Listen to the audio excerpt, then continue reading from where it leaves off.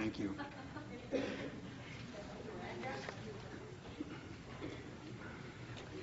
Tarshish, a glamorous career in religion, is no proper destination for a pastor. Once on board this Tarshish destined ship, though, it's not easy to get off. The accommodations are pleasant, the touring companions engaging. Why would anyone want anything else? Jonah was thrown off.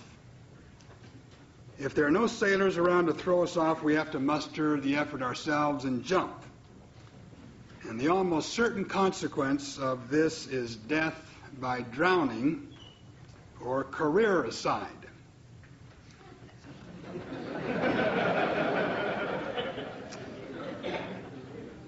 Jonah didn't drown. He was swallowed by a great fish and so saved. And his first action in this new condition, this submarine condition, is prayer. This is the center of the story, a center that's located in the belly of the fish. The drowning of religious careerism is resurrected now into pastoral vocation. We become what we are called to be. And we become what we are called to be by praying. And we start out by praying in the belly of the fish. And the belly of the fish is a place of confinement, a tight, restricted place. And the ship to Tarshish was headed for the western horizon, a limitless expanse of sea with the lure of the mysterious and beckoning unknown through the Straits of Gibraltar and beyond. The gates of Hercules, Atlantis, Hesperides, Ultima Thule. Religion always plays on these sublime aspirations, these erotic drives for completion and wholeness. And Jonah, who is heady with this potent elixir and cruising confidently under full sails, the sea breeze and the salt tang deepening the sensory anticipation of a thrilling life in the service of God, finds himself instead in the belly of a fish. The belly of the fish is the unattractive opposite to everything Jonah had set out for. The belly of the fish was a dark, dank, probably stinking cell. Want to introduce the word ascesis.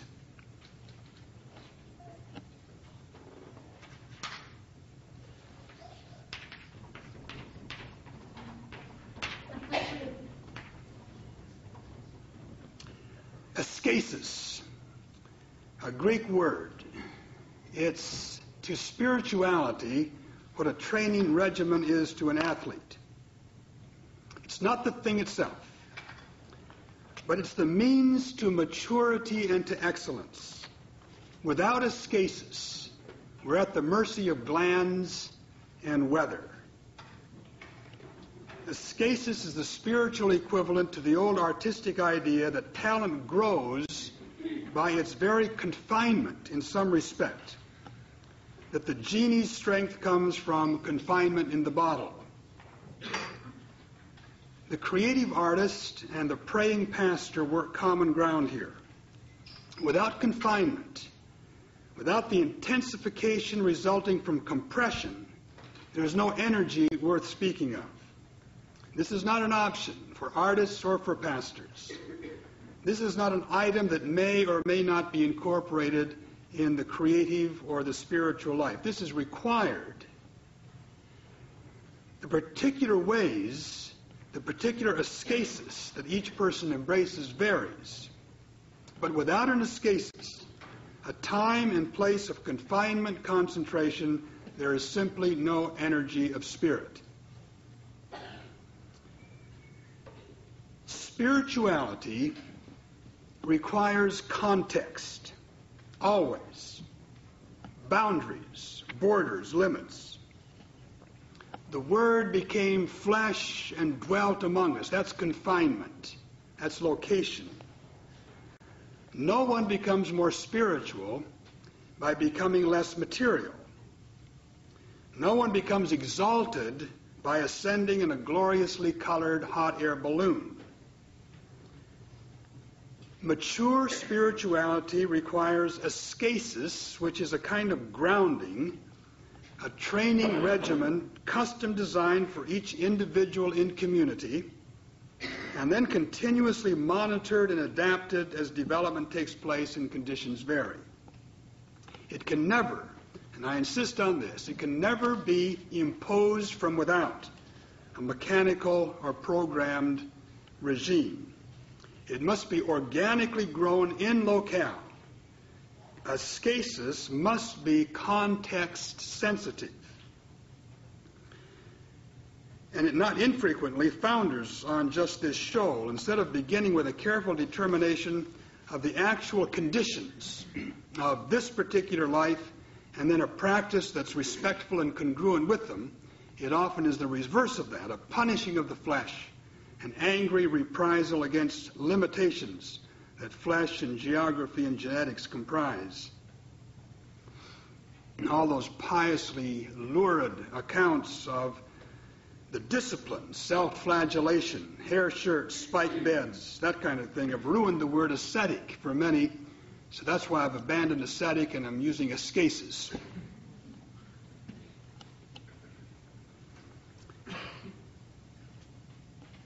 The conditions in which pastors pursue our vocations make it a matter of urgency that, requ- that we require, that we acquire an ascesis, and soon.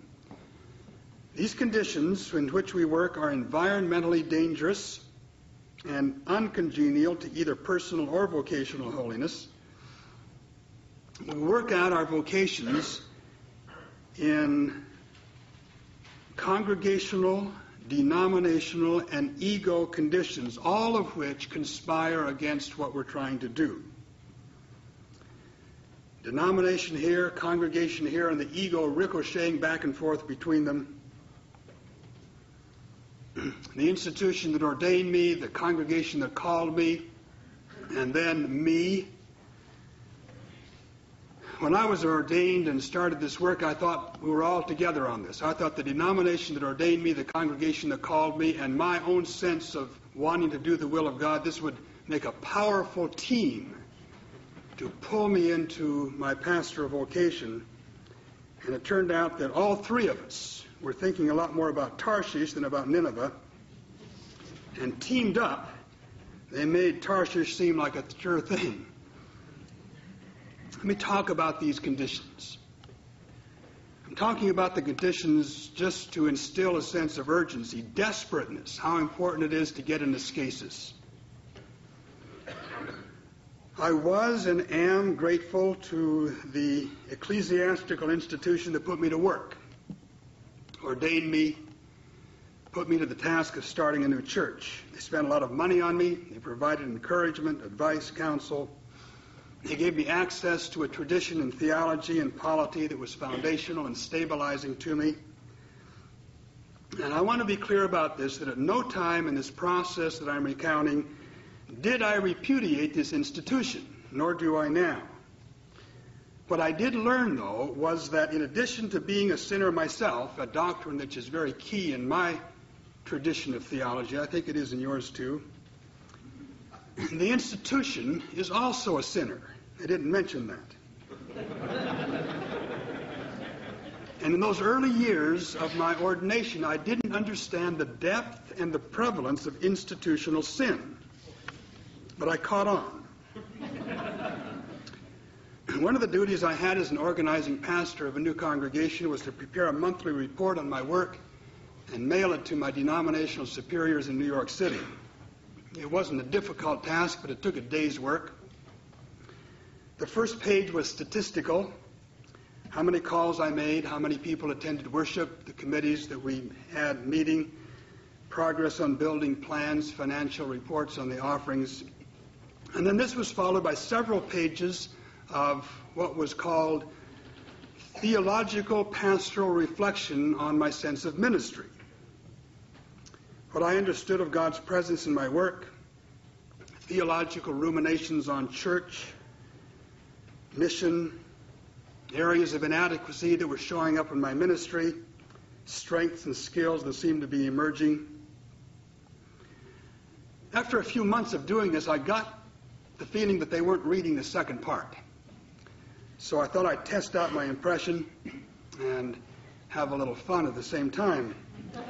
So the next month, after dutifully compiling all this statistical data, I turned to page two and described as best I could a long, slow slide into depression that had been going on for the last few weeks. I had difficulty sleeping. I couldn't pray.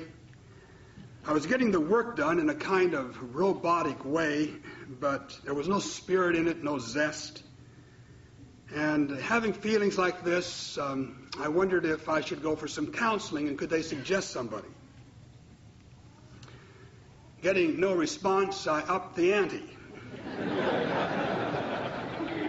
the next month, I developed a drinking problem.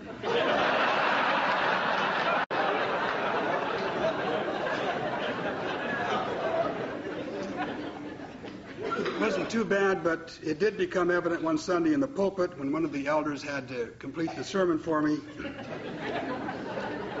People were understanding, but I really felt I was at a point where I needed some treatment. How could I go about getting it? Still no response. I got bolder. The next month I cooked up an affair started out innocently enough as I was attempting to comfort a woman through an abusive marriage, but something happened in the middle, and somehow we ended up in bed together, except it wasn't bed, it was the back pew of the church. And the women coming in to arrange the flowers for Sunday found us, and I thought it was going to be all over for my ministry there, but it turned out in that community they loved swingers, and attendance doubled the next week. But I was worried about my falling apart kind of behavior, and I needed help. Could they help me? Next, I reported some innovations I was making in the liturgy. This was in the 60s, and there was a lot of liturgical reform going on. And um, ours was really dull. I had read some scholarly guesses about a mushroom cult in Palestine in the first century in which Jesus was almost certainly involved, and I thought it was worth a try. So I, I, I arranged for the purchase of some mushroom caps. It was peyote, I think, and uh, we introduced them at our next celebration of the Eucharist. Well, it was a terrific experience. People went and said they'd never had a worship experience like that before. But I didn't want to do anything in violation of our church constitution, and I couldn't find anything in our book of orders that said this. Could they advise me? Well, these writing days were getting to be a lot of fun. I.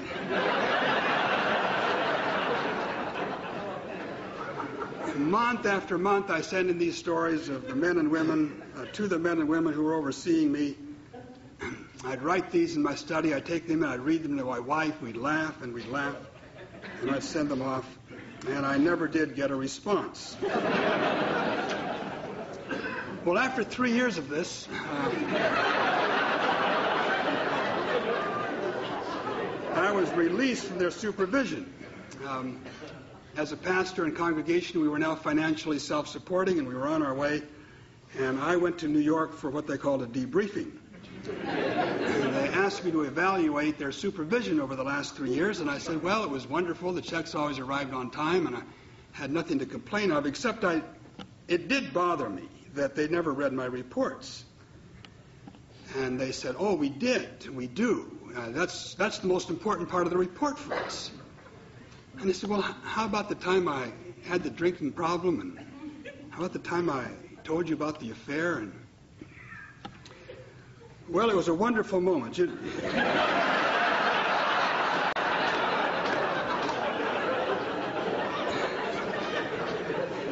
you know how some people kind of do replays of Abbott Costello films all over, over and over again? I do it. I do that with that scene. I just replay that and laugh and laugh.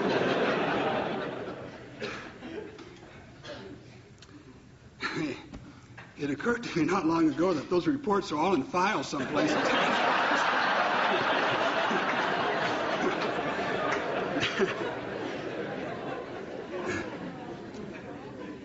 I might make it with Tammy and Jimmy yet.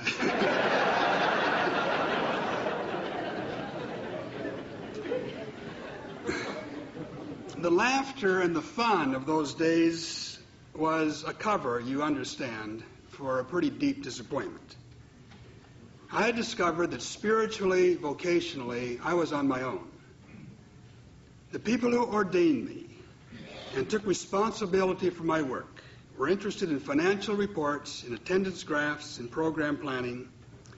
They were not interested in me. They were not interested in my ordination. They were not interested in what I was learning now to call my vocation. There was a deeper discovery to be made, and that that I was naive and mistaken to expect them to do that.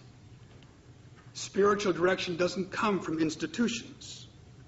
The institution is necessary, has its proper place. I couldn't function without it. I really couldn't. None of you could. But I was mistaken to look for my spiritual nurture there, expect vocational counsel from there. It's still a condition, a condition with which I work all the time. I have to know the nature of the condition. The congregation is the other major condition in which I work. You work. And there's major relearning to be done here, at least for me.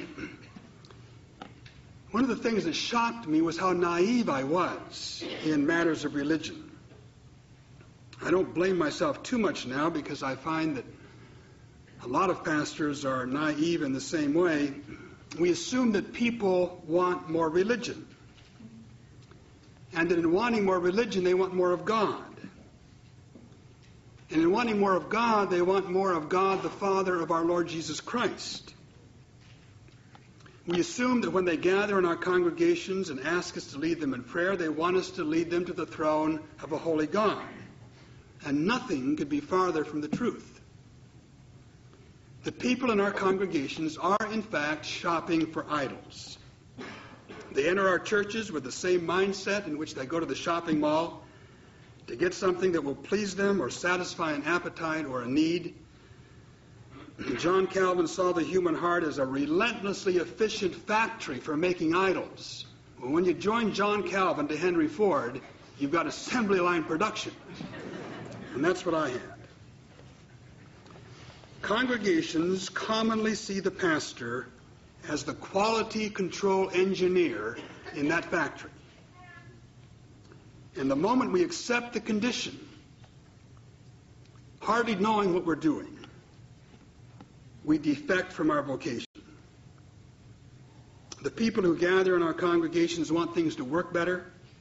They want a life that's more interesting. They want help through a difficult time. They want meaning and significance in their ventures. They want God in a way but certainly not a jealous God. Not the God and Father of our Lord Jesus Christ.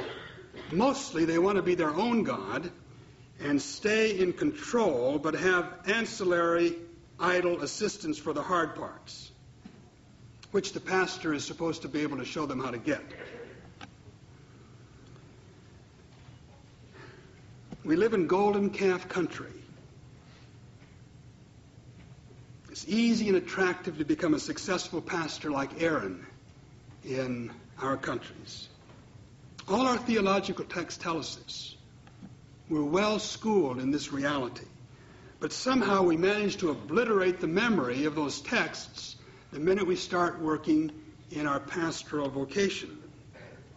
We're taught that it's characteristic of post Eden human beings to try to be their own gods and that this characteristic is persistent, subtle, relentless. And when every one of us and, and everyone around us is self defined as a Christian, listens to the gospel story regularly, smiles in appreciation when we pray in the name of Jesus, we drop our guard and suppose that all that idol business is behind us. We're home free. We assume that we're free to concentrate on getting rid of the conspicuous trespasses of morality written in the second tablet of the law. No longer need to be vigilant regarding the easily camouflaged spiritual sins in the first tablet. A moment came when I was forced to come to terms with my naivete regarding this condition in which my work is done, this condition of congregation, parallel to the denomination. the first thing I did in my work developing a new church in the suburban community in which I was sent was to walk down the streets that curved through these tracts of new houses, knock on the doors, tell them that I was organizing a new church, ask if I could talk to them. Sometimes I got invited in. Occasionally there was a spark of interest. Day after day I did that. I disliked this work exceedingly. I disliked being treated with suspicion by the men and women who came to the door. I disliked the rudeness with which I was often dismissed, making me feel like a peddler of snake oil. But I didn't see any way out of it. So, with neither staff nor bag, I abandoned dignity and doggedly went ahead and did it. The one pleasure that I took in that unhappy work was obeying Jesus by shaking the dust off my feet as I retreated from doors closed in hostility or indifference. It was a Dominical command that I was glad to obey. But a few people said yes, a few people were interested. In the six weeks, I had accumulated enough yeses, interests, sparks to think I might start a church, get a quorum at least of the two or three that Jesus settled as a minimum. And I announced the first service in the basement of my home. 46 people showed up. We sat on folding chairs in an unfinished basement. It was winter. There was a lot of mud. It was obvious we would have to build a sanctuary. People gathered, invited friends. They made financial commitments. We employed an architect. And in two and a half years, we had a sanctuary built. I did not enjoy the work of those two and a half years. I did it because it had to be done. I did it with my whole heart because I wanted to be a pastor and have a congregation that I could lead in the worship of God. I was pleased that these people were willing to forego their comforts of a pew for a few years, give their time, their money, their leadership to form a congregation, construct a building, so we could provide a place for people to come and worship God in the community. And now this organizational work was over. The construction was complete. We could spend all our time now on our real work of work, of worship, and of mission. I had no reason to not suppose that everyone felt the way I did. And then I got one of the big surprises of my life after two or three weeks of celebrative gathering in our new sanctuary, attendance began to decline. I couldn't understand what was going on. I visited the people, I asked them, I probed, and um, to my dismay, I found that there was nothing wrong. They had no complaints. It was just that now there was nothing to do. The challenge had been met successfully. I was advised by my denominational superiors to start new projects immediately, recapture the people's enthusiasm with what one of them said they could get their hands on. Well, I figured the only thing they could get their hands on was an idol. And I thought that we were there to worship God, to love our neighbors, live into a holy mystery. There were a few people there who were also there to worship God and practice love of neighbor and learn how to go into mission. And they stayed and they matured and they glorified God, but not nearly as many as I thought. Turned out that far more people than I would have guessed helped develop and build the new church because it was a religious project, an idol that gave meaning and focus and something worthwhile, something suggestive of transcendence, but they were not interested in God. Worshipping God was not emotionally exciting. Loving neighbors was not ego satisfying. And they drifted away. And they went on to get involved in other community projects. And that great surge of enthusiasm beginning that we had fell back like a receding tide. We went to work, hard work of worship, love, witness, the spiritual geography of every congregation, and I think I insist on this, is mapped east of Eden. In this self, in this land, self is sovereign. The catechetical instruction we grow up with has most of the questions couched in the first person. How can I make it? How can I maximize my potential? How can I develop my gifts? How can I overcome my handicaps? How can I cut my losses? How can I increase my longevity and live happily ever after, preferably all the way into eternity? Most of the answers to these questions include the suggestion that a little religion along the way wouldn't be a bad idea. Now, there's a little extra spin that's put on these questions for the people who gather in congregations. And pastors who have a reputation for being knowledgeable in matters of religion are expected to legitimize and encourage the religious dimensions of their aspirations. And in our eagerness to please, and forgetful of this penchant for idolatry in the human heart, we too readily leave the scene of worship with freely offered emotional and religious jewelry the people bring, fashion a golden calf god, and proclaim a feast to the Lord. Hardly knowing what we do, we meld the religious aspirations of the people and the religious dynamics of the occasion and satisfy everybody.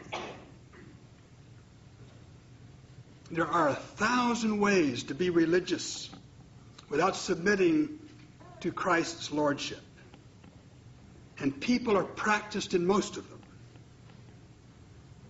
Religious feeling runs high in this golden calf country, but it's far removed from what was said and done on Calvary.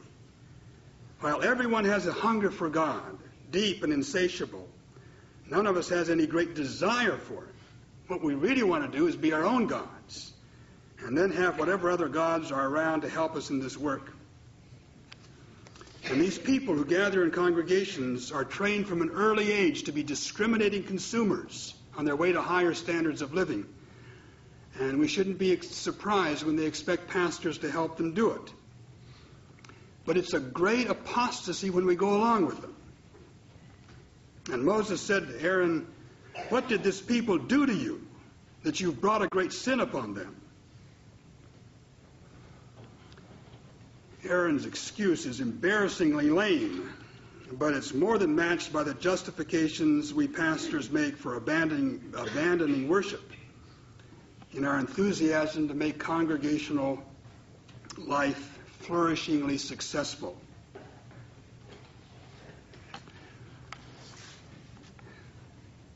That's why it's so hard. I could spend time now talking about the ego the way that plays into it, but I think I've said enough about that. I'm going to skip all that for a minute and just say that these conditions in which we work denomination, congregation, and ego are inescapable and powerful.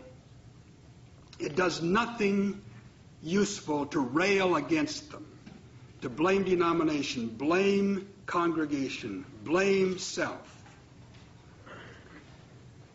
But if we are to repudiate a promising career in religion and avoid this slavery to idols, escape the Aaronic vanity, we're going to have to put together a strong defense. And this defense, which also is a kind of offense, is ascesis. It begins in the condition that's closest to home, in the ego, in the self. In time, congregation and institution get included, but the ego is the place to start.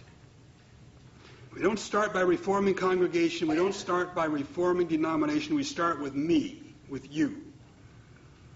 The ego is the playing field, the praying field for an ascesis.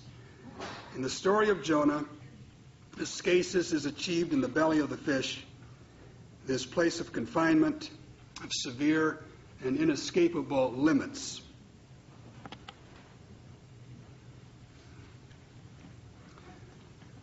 Let me just go over this old ground again to make sure we're all at the same place.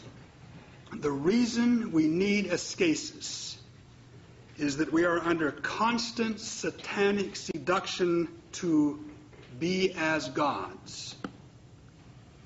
The seductive pull is aggravated by the place, denomination, congregation, in which we do our work. But it doesn't begin there, it begins within. The seduction is basically religious, and like all seductions, appears to be a wonderful thing. We transcend mortality, break through limits, expand our influence, live up to our potential, take over Eden. No longer willing to be obedient, content to be obedient. Adam and Eve obedient, tending the garden, naming the animals, holding sweet converse with our Lord in the evening. We're infected with this, with this Luciferian hubris. We get a taste for something truly visionary. Ye shall be as gods. Indeed.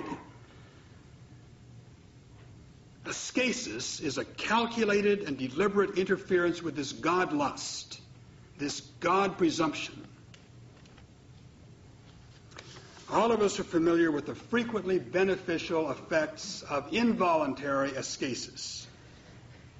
How many times have we heard as we visit a parishioner in the days following a heart attack, it's the best thing that ever happened to me. I'll never be the same again. It woke me up to the reality of my life, to God, to what is important. And suddenly, this person who's been mindlessly and compulsively pursuing an abstraction, success or money or happiness, this person is reduced to what is actually there, to the immediately personal, family, geography, body, and begins to live freshly now in love and appreciation firsthand. And the change is a direct consequence of a forced realization of human limits. You're in the belly of the fish, pulled out of the fantasy of a God condition, a Tarshish destination, surprised now to be living not a diminished life, but a deepened life not a crippled life, but a zestful life. God intensity now begins to replace self absorption. Mature wisdom begins to seep into where there was only self importance.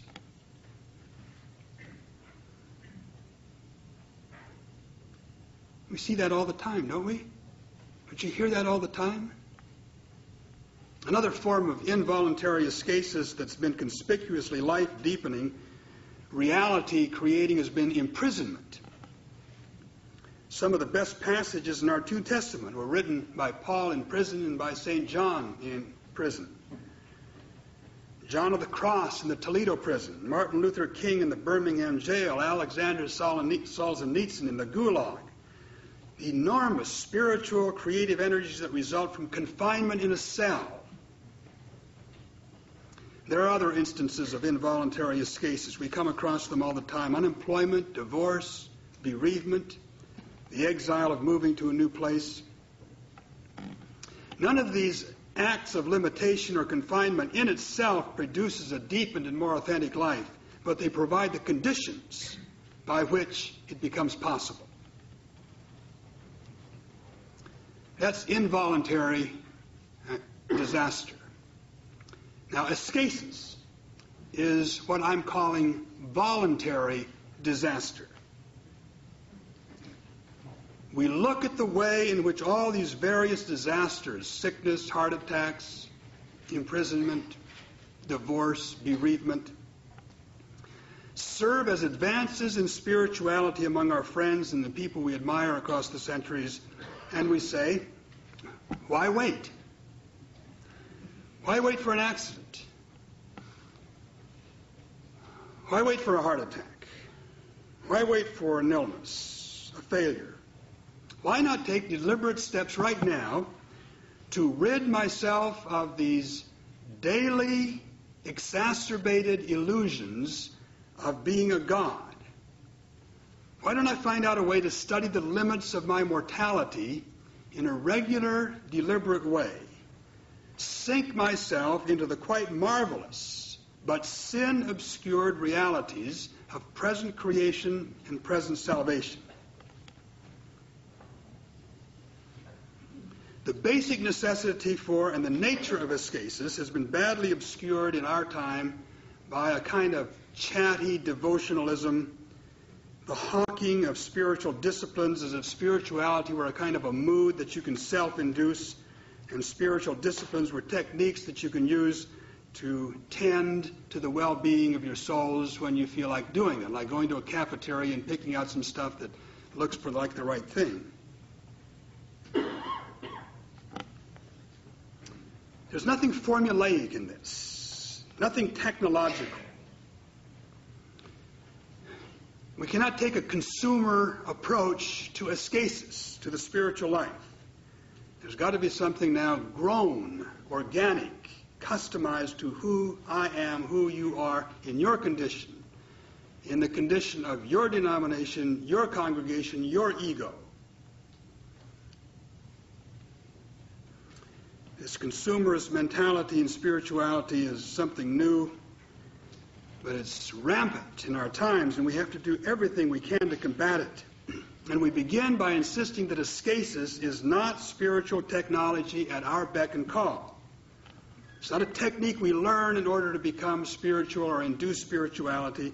It's immersion in an environment, the belly of the fish, in which our capacities are reduced to nothing or nearly nothing, and we're at the mercy of God to shape His will in us. Jesus took the story of the belly of the fish to illuminate the nature of his own ascesis. For as Jonah was three days and three nights in the belly of the whale, so will the Son of Man be three days and three nights in the heart of the earth. That's it. That's Jesus' ascesis.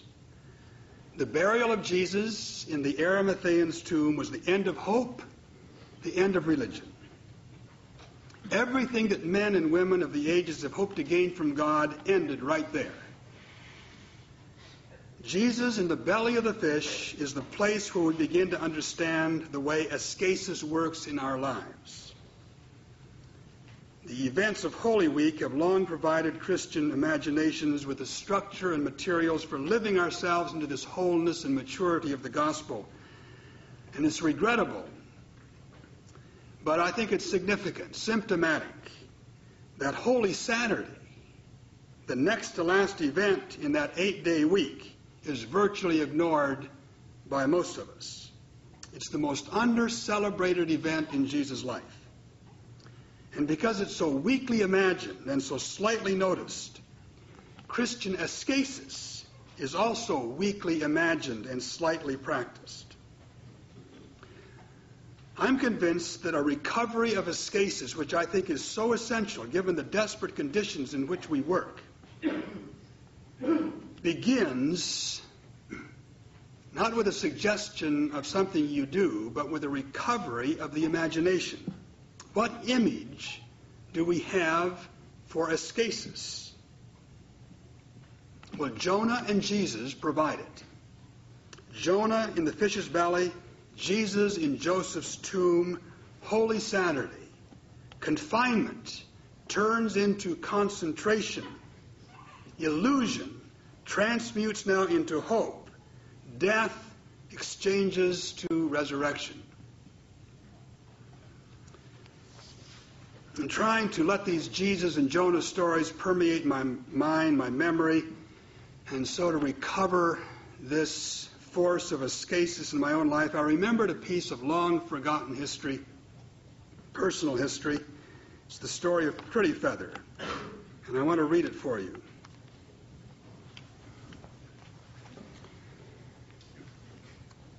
Pretty Feather placed two buffalo head nickels on the countertop for her Holy Saturday purchase, smoked ham hocks.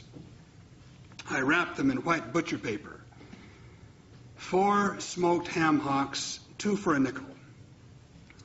In the descending hierarchy of Holy Saturday foods, ham hocks were at the bottom. Large hickory smoked hams held center position in the displays in my father's butcher shop colorful cardboard cutouts provided by salesmen from the meatpacking companies of Armour, Hormel, Silverbow, all showed variations on a theme. A father at an Easter Sunday dinner table carving a ham, surrounded by an approving wife and scrubbed, expectant children. Off to the side of these displays were stacks of the smaller and cheaper picnic hams. There were no company supplied pictures, nor even brand names on them. A picnic ham is not, properly speaking, a ham at all, but the shoulder of the pig. People who do not have money for a real ham buy them.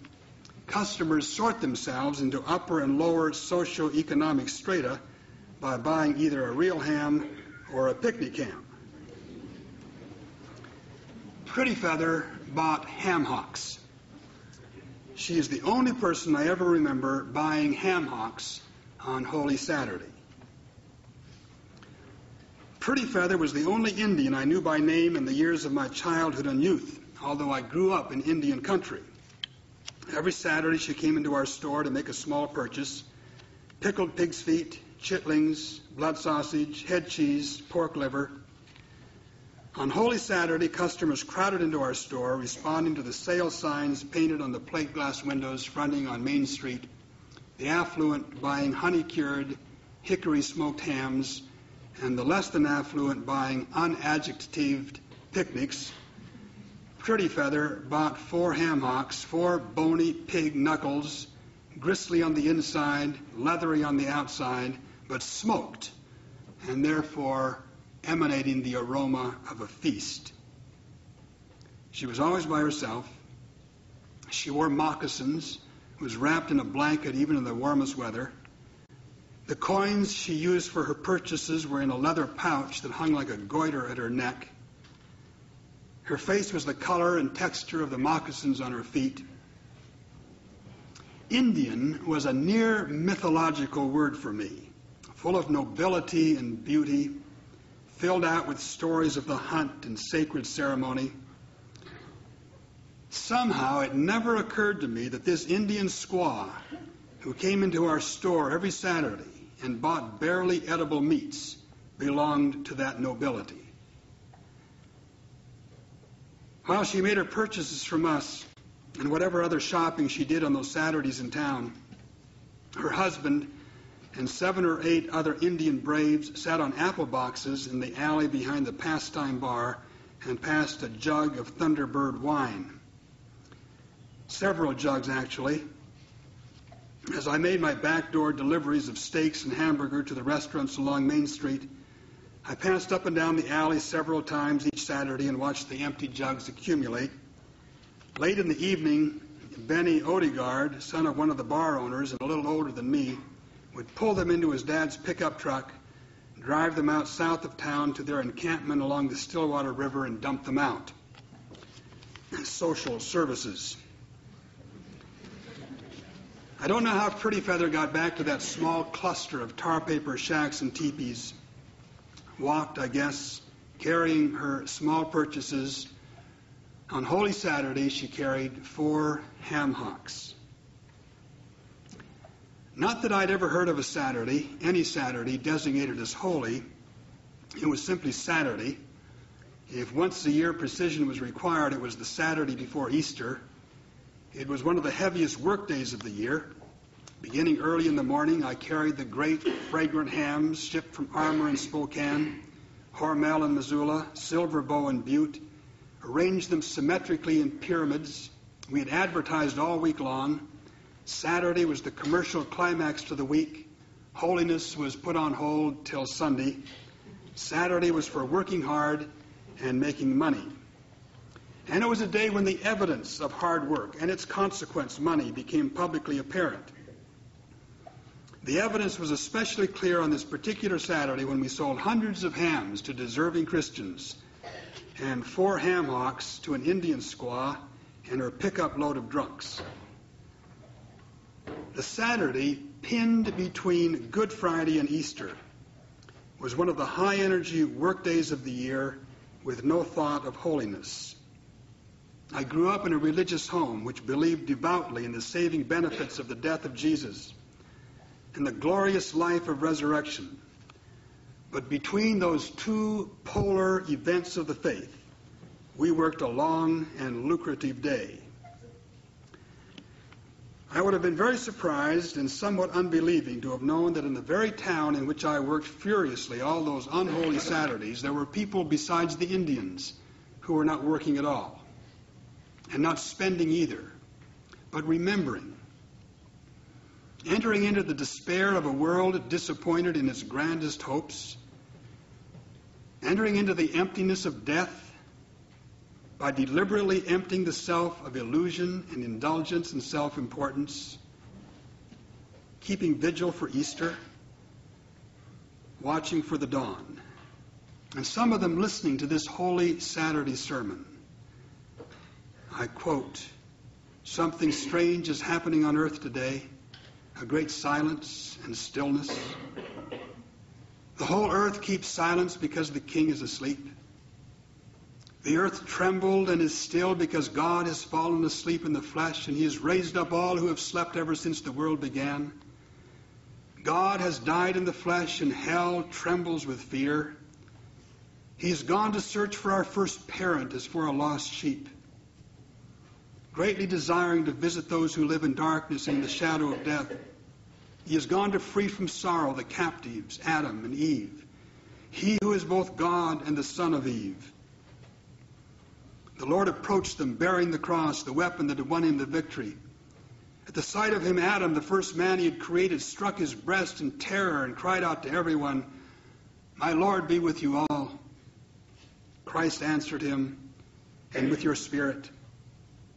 Took him by the hand and raised him up, saying, Awake, O sleeper, and rise from the dead, and Christ will give you light. That's the end of the quote from an old sermon. As it turned out, I interpreted the meaning of the world and the people around me far more in terms of the hard work on Saturday than anything said or sung on Friday and Sunday. Whatever was told me in those years, and I have no reason to doubt that I heard much truth, what I absorbed in my bones was a liturgical rhythm in which the week reached its climax in a human workday the results of which were enjoyed on Easter. Those assumptions provided the grid for a social interpretation of the world around me. Saturday was the day for hard work, or for displaying the results of hard work, namely money. If someone appeared neither working nor spending on Saturday, there was something wrong, catastrophically wrong. The Indians attempting a hungover Easter feast on ham hocks were the most prominent exhibit. It was a view of life shaped by the gospel according to America. The rewards were obvious and I enjoyed them. I still do. Hard work pays off. I learned much in those years I will never relinquish. It might seem ungrateful to cavil now, but there was one large omission that set all the other truth dangerously at risk the omission of holy rest, the refusal to be silent, the obsessive avoidance of emptiness, the denial of any experience and any people in the least bit suggestive of God forsakenness. It was far more than an annual ignorance of Holy Saturday. It was religiously fueled arrogance weekly. Not only was, the, was Good Friday, was the Good Friday crucifixion bridged into the Easter resurrection with his day furious with energy and lucrative with reward, but all the gospel truths were likewise said as either introductions or conclusions to the human action which displayed our prowess and our virtue every week of the year. God was background to our business. Every gospel truth was maintained intact. And all the human energy was wholly admirable. But the rhythms were wrong. The proportions were wildly skewed. Desolation, and with it companionship with the desolate, ranging from first century Semites to 20th century Indians, all but wiped out of consciousness. There came a point which I was convinced that it was critically important to pay more attention to what God does than what I do, and to find daily, weekly, yearly rhythms that would get that awareness into my bones. Holy Saturday for a start, and then as I had opportunity to visit people in despair and learn their names and wait for resurrection. Embedded in my memory now, this most poignant irony. Those seven or eight Indians with the Thunderbird empties lying around, drunk in the alley behind the pastime bar on Saturday afternoon, while we Scandinavian Christians worked diligently late into the night, oblivious to the holiness of the day. The Indians were in despair, religious despair, something very much like the Holy Saturday despair narrated in the Gospels. Their way of life had come to nothing. The only buffalo left of them engraved on nickels, a couple of which one of their squaws had paid out that morning for four bony ham hocks. The early sacredness of their lives was a wasteland, and they, God forsaken as they supposed, drugged their despair with Thunderbird and buried their dead visions and dreams in the alley behind the pastime, ignorant of the God at work beneath their experienced emptiness. Ascesis.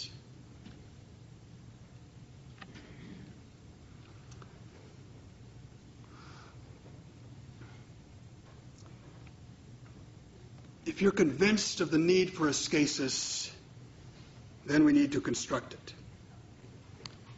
And this is the hard part, for in the ordinary course of things, God does not appoint a fish to swallow you and put you in the place in time of prayer. You have to find your own place, carve out your own time. It's hard because, however necessary we believe it to be, it does not feel necessary except occasionally. On most days of our lives, there's neither pressure nor pain enough to lure us into this place. And there will be plenty of other pressures and lures to do something quite other and different. The components for building an ascesis are simple enough a place, a time, a closet, a clock, a sanctuary, some silence. Anybody can manage that for a while.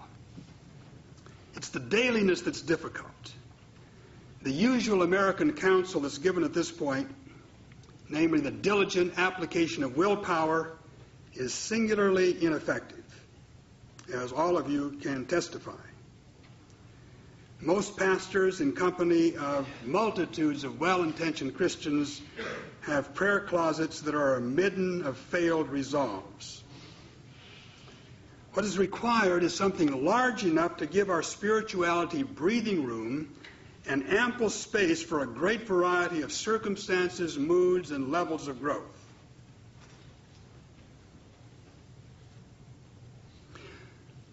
The most conspicuous construction of a workable ascesis is the monastery. Now, the genius of the monastery is its comprehensiveness. All the hours of the day are defined by prayer.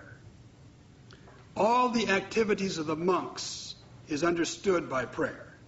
Hour by hour, day by day, year by year, this external comprehensiveness penetrates the community and the soul. The life of prayer is interiorized and socialized both at the same time. But pastors aren't monks and we don't live in, in monasteries. Is it possible to construct a pastoral ascesis that is workable outside a monastery?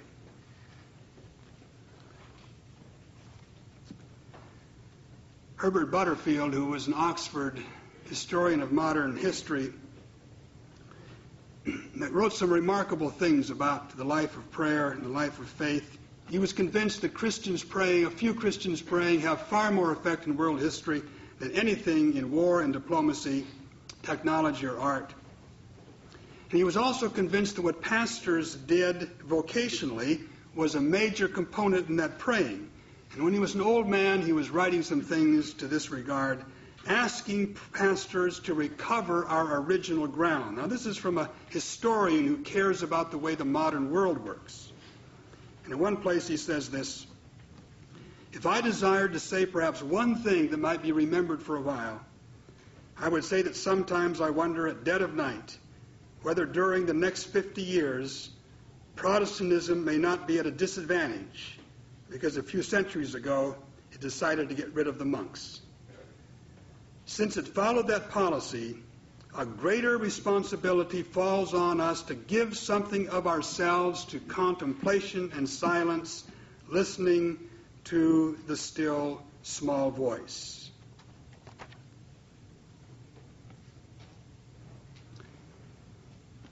That's what I want to do. That's what I've been trying to do, invite you to do. The walls of the monastery are not the critical thing. We're not going to get those. The prayer of the monastery is the critical thing. Finding a way to define all the hours of the day as a life of prayer. A form large enough to include everything that we're doing in the life of prayer. A prayer defined life, customized ascesis. If we think of ascesis as just a discipline, uh, something that'll help us to do our work, we're, all we're doing is cubbyholing this large requirement. What we need is something huge, something that will take everything we are and reconstruct it. We're not just wanting a prop for another religious job. We're trying to find the belly of the fish out of which we can live in a new vocation.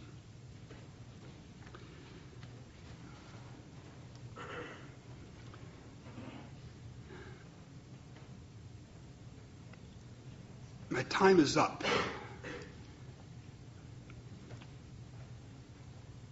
What Jonah did in the belly of the fish is pray. And what he prayed was something he learned from the Psalms.